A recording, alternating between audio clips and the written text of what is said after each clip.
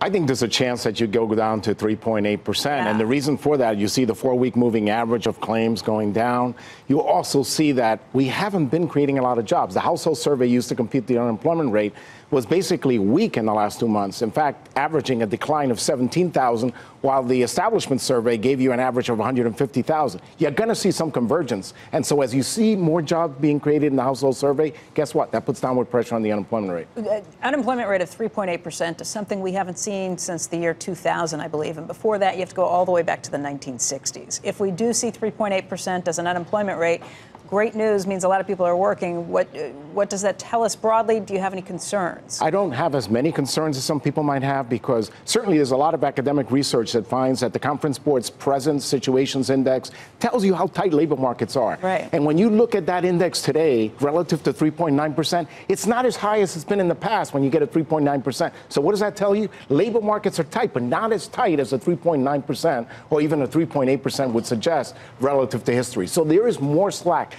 And I love to look at the job openings rate, but I also love even more to look at the job hiring rate because there's some information out there that the job openings is firms really fishing for resumes. You sure. really should be looking at the jobs hiring rate. That tells you more about how tight the labor market is. All right, Joe, when you're looking at this from the investor's perspective, it looks like a great news on the economy, mm-hmm. uh, no matter what number we actually get seeing today.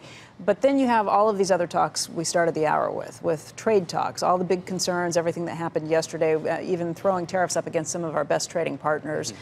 And you've got the whole issue of what's been happening in Europe. So w- when you add those things together, what, what do you do uh, when it comes to your investments? That's a great question. That's the tug of war we've seen all throughout 2018, where when you look at the fundamentals, they continue to improve, right? We've seen uh, earnings growth that's accelerating, revenue uh, revenues that are accelerating, uh, capex that's expanding. Uh, we have the whole discussion on the tight labor markets and all the benefits that that brings to the U.S. economy. On the other side of that, it's that investors have been pretty much whipsawed by all these macro risks, right? Whether it's uh, steel and aluminum, China trade, Iran nuclear, Italian elections, steel and aluminum again this week.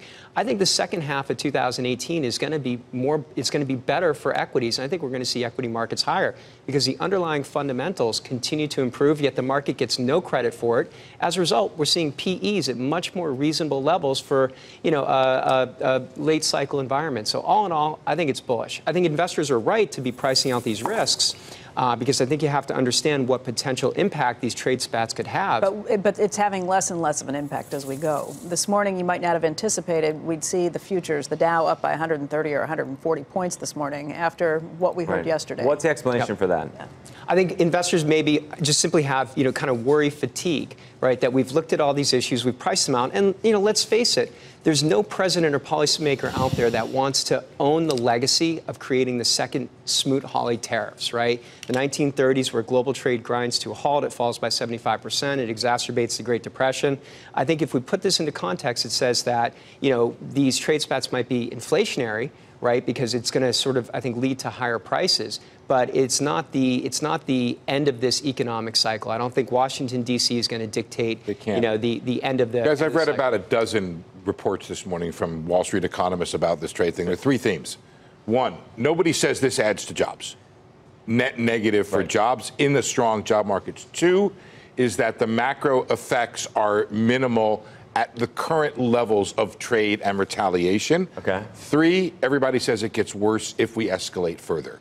And there is some bracing for that $50 billion of tariffs on June 15th. So a week will not go by, or just about a week will go by before the market has to think about this again. But those are three consistent themes throughout right. the e- economic view of this uh, action here. Hey there, thanks for checking out CNBC on YouTube. Be sure to subscribe to stay up to date on all of the day's biggest stories. You can also click on any of the videos around me to watch the latest from CNBC. Thanks for watching.